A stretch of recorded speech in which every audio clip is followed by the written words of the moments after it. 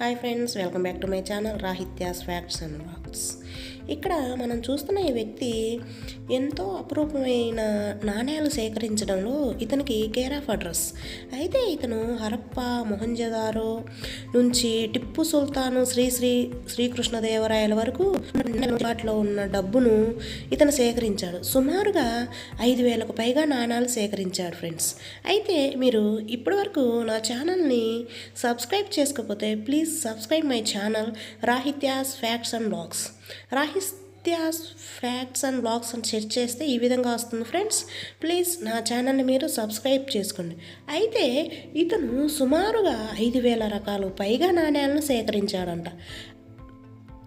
అయితే అవి ఇప్పుడు వాడుకలో లేకపోయినా అవన్నీ కూడా అతని దగ్గరే ఉన్నాయి. ఇందులో దాదాపుగా రెండు వందల దేశాల నాణాలు మరియు వాటితో పాటు విదేశీ కరెన్సీ సైతం అతని దగ్గర ఉన్నాయంట. అందులో వివిధ రకాలైన ఆకృతులు వివిధ రకాలైన నాణ్యాలు ఉన్నాయంట. అయితే ఇప్పుడు తను చెప్పేది ఏమిటంటే ప్రభుత్వ ప్రోత్సాహం ఉంటే అతను ఆ నాణాలన్నిటినీ ఒక మ్యూజియంలో తయారు చేసి వాటిని మ్యూజియంలో పెట్టాలని కోరుకున్నాడంట. అయితే అతని పేరు కొత్వాల్ సాయిరామ్. ఇతను ప్రజెంట్ క్షౌర వృత్తిపై ఆధారపడి జీవిస్తున్నాడు. వీటిని క్షౌరవృత్తితో పాటు వీటిని సేకరించడంలో కూడా ఇతడు నైపుణ్యం సాధించాడంట. ప్రాచీన కాలం నాటి అపురూపమైన రామ టెంకి ఇలాంటివి వివిధ రకాలైన నాణ్యాలు ఇతను సేకరించాడు. అయితే అవన్నీ కూడా ఇప్పటికీ అతని వద్దే చాలా భద్రంగా ఉన్నాయంట. దేశంలో ముద్రణ యంత్రాలు లేని కాలం నుండి తయారైనటువంటి నాణ్యాలు కూడా అతని దగ్గర ఉన్నాయంట. అయితే ఈ అనేక నాణ్య రకరకాలైనటువంటి నాణ్యాలు ఇతని వద్ద కనిపిస్తాయంట. చూశారు కదా? ఎంత ఎన్ని రకాలైన నాణ్యాలు ఉన్నాయో? వీటిని భవిష్యత్ తరాలకి అందించాలి అంటే భవిష్యత్తు తరాలకి ఇవి ఏ విధంగా ఉన్నాయో చూపించాలని ఇతని ఆశ అంట. ప్రభుత్వం తోడ్పాటు అందిస్తే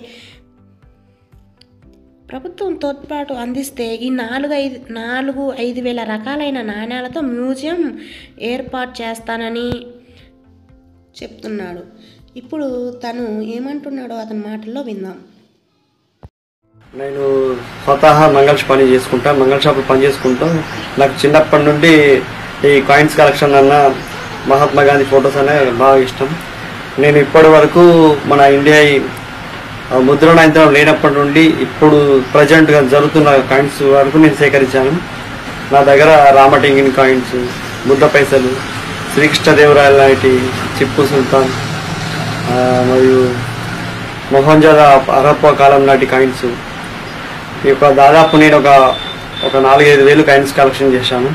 ఇవే కాకుండా రెండు వందల దేశాల కాయిన్స్ కూడా కలెక్షన్ చేశాను.